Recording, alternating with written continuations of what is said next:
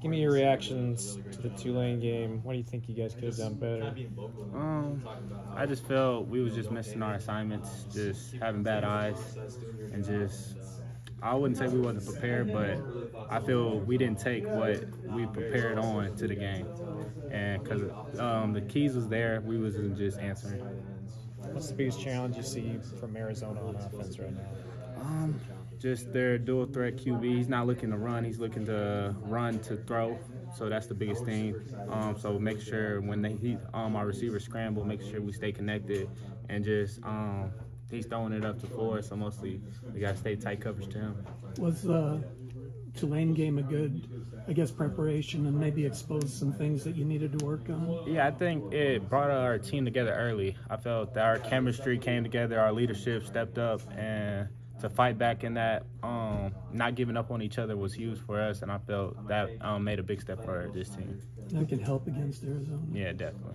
Was it After the game, there were a few different players who said they were impressed with your leadership. At halftime, Avery in particular said he was uh, appreciated the way you challenged him. What, what did you say in the locker room to those guys? Um, mostly, um, I just brought up the D, um, DBs just because I felt we were failing the team. You know, I felt our linebackers D line was getting after from what I seen. Just we was giving up the explosive plays, and I felt um, I told them at half we gave them 20 points. They didn't earn it. We gave it up. So I just mostly, if we get to our um, what we um, do best, we'll be good, and then we'll lock in. And we gotta um, step up um, if we want to come back and win.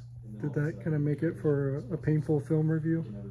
Um, I wouldn't say painful. It's just I wouldn't say painful because you're gonna have your bad times. You're gonna have bad plays. It's just we gotta take uh, um take it and learn from it. Did these all come at once, or what, how did those happen? Yeah, it came. I, I'm pretty sure these three came on that um D ball had to catch up to, and when we was in cover two. So um try to um once I tackled him, we slid about 10 yards, and the turf monster got me. Gotcha. Um, Arizona's main receiver. What what makes him you think hard to defend? Um, I'll just say he's just wide. He can, um, he takes a lot of space with his size and his wingspan. He just, he can go up and get a jump ball. He can go out there and just create space away from you just from his big size. So I definitely say just we just gotta have tight coverage to him, stick to him, um, be physical at the line so he don't get open space, and that would be the biggest thing.